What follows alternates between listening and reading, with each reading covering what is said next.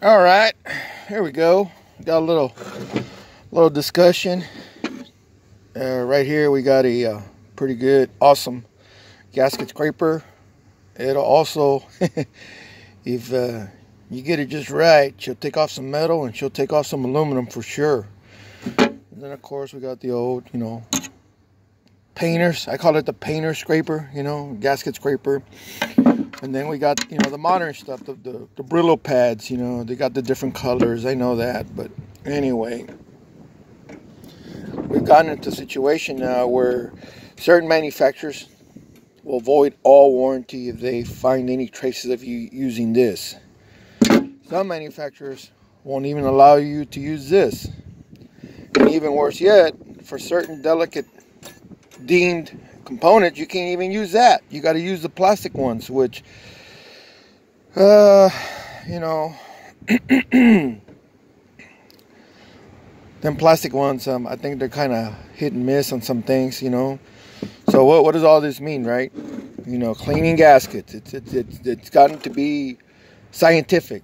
You know, you no longer in the old days we used to get a, a, a good old file, you know, a good American made file, and we'd grind it down on the bench grinder, which by the way, what's what's going on with the bench grinders? You don't see them like you used to, you know, in the shop. You know, some shops you got to get an angle grinder, and, and that's how you got to grind things down. Anyway, that's a different a change of the times, I guess, right?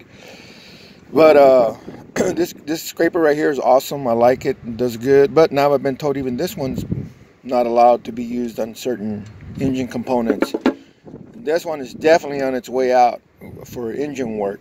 Uh, they're trying they're trying to say that when you use this, the uh, fine dust particles contaminate the system, and um, which is kind of funny. I can I, I can actually remember when I used to work in an open quarry mine.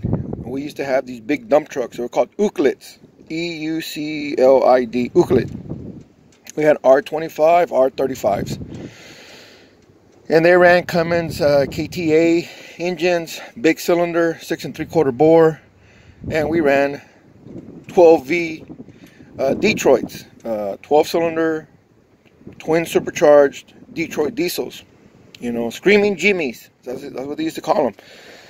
And uh, I can actually tell you more than I've got fingers times that we actually did end frames in the middle of the mine, pull the liners, put new rod bearings, main bearings, you know, and of course we kept blowing everything and we kept spraying everything down, trying to keep it dust free, and we'd put them together and they'd, they'd run. You know, they'd run, you know, no problems. But today's engines are so sophisticated. Uh, the oil pressure thing, you know, it's gotten crazy.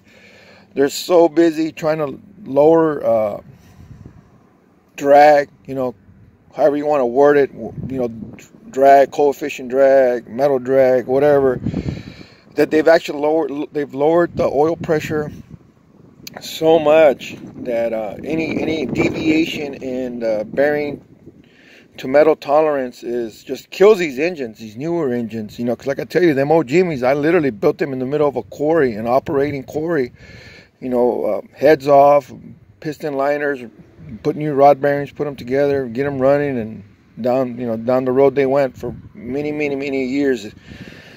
But today's engines, you can't do that. They're so sensitive, you know.